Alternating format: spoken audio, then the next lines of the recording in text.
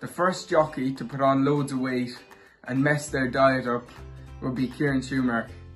He's good at getting really fit, but he's also good at getting fat.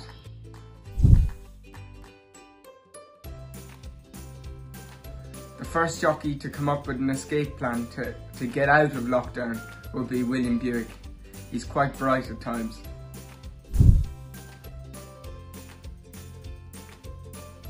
First jockey to fall out with everyone and have a massive argument would be Charlie Bishop, no doubt.